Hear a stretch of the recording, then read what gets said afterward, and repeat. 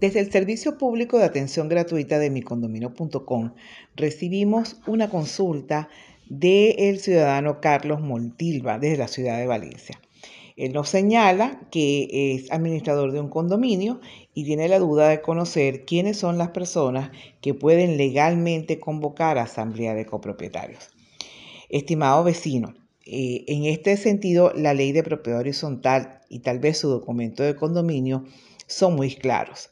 La primera persona que tiene eh, la facultad de convocar asamblea es el administrador del condominio por mandato del artículo 20 de la ley de propiedad horizontal.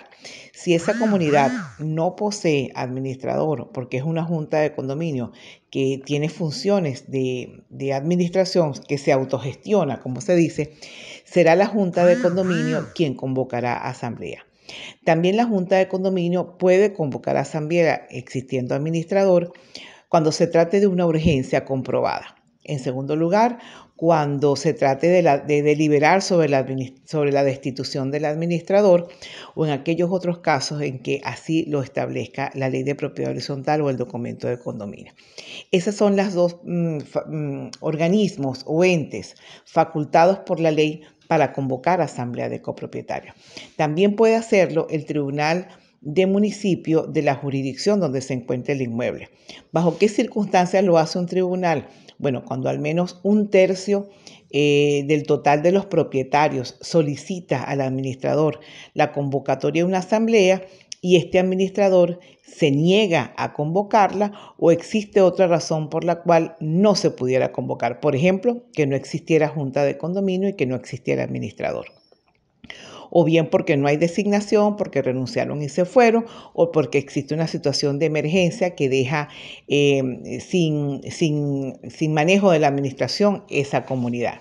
En este caso, esos propietarios interesados deben acudir al tribunal del municipio y a través del procedimiento, em, lo que llamamos de jurisdicción voluntaria, no, que son trámites muy, muy cortos, debe solicitar al tribunal mm, de municipio la convocatoria de asamblea y debe regirse por los trámites establecidos en ese proceso breve de jurisdicción voluntaria. Será entonces en este caso el tribunal quien solicitará o quien convocará a asamblea mediante la admisión de, esa solicitud y librará el cartel de convocatoria.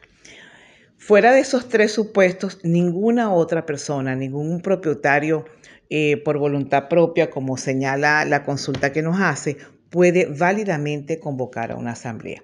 Si un grupo de propietarios se reúnen a convocar una asamblea sin cumplir estos requisitos que decimos, esa convocatoria está viciada de nulidad.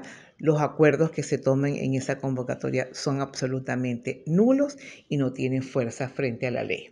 Esperamos de esta manera haber dado respuesta eh, a esta consulta brevemente de este caso que nos envían al servicio de atención pública de micondominio.com. Esto es simplemente una orientación eh, por cuanto los mm, materiales que nos envían, la información que nos envían, eh, no es completa para realizar una asesoría total, sino simplemente es una orientación para que con estos datos ustedes puedan eh, devolverle tranquilidad a la comunidad o orientar la búsqueda de un profesional del derecho que se encargue de solventar un caso como esto.